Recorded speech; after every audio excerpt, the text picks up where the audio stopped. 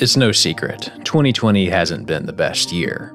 There have been days it felt like all of our demons were competing to see who could cause the most sorrow, like there was a leaderboard for tears shed or hearts broken. Some of us lost loved ones. My grandchildren would make songs with me here to celebrate the changing of the seasons.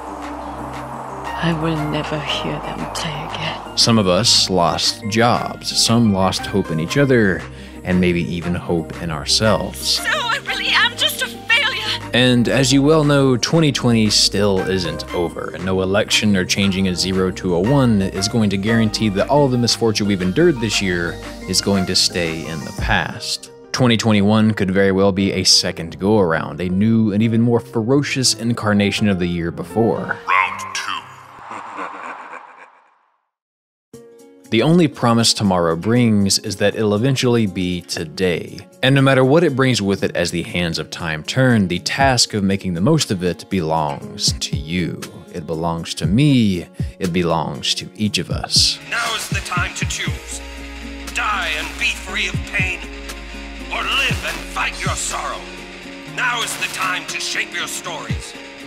Your fate is in your hands. It's easy to get down on yourself. It's hard to choose to see the good things happening around us when the noise from the bad is simply louder. It's a disaster. An unprecedented disaster. Sometimes getting out of bed feels pointless, but you have to find a reason to keep going.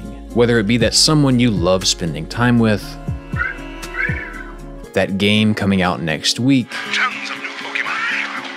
adventures, and worlds to explore. that project you've been working on, that goal you so deeply want to achieve. As long as we can pull off the win, it doesn't matter how. Or even in the little things like the sound of the rain on the window, or how the last bit of cereal is just the perfect amount to fill the bowl.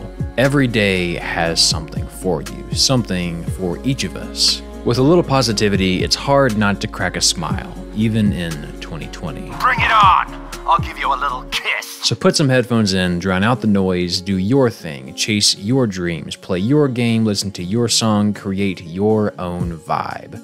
Not the vibe that comes stock with the world right now. They'll try to stop me. But I'm stronger than them. We're stronger. Choose to be the exception to the rule. Choose to see the good around you, in yourself and in others. Because no matter how loud our demons play their music, we can always turn our own music up even louder.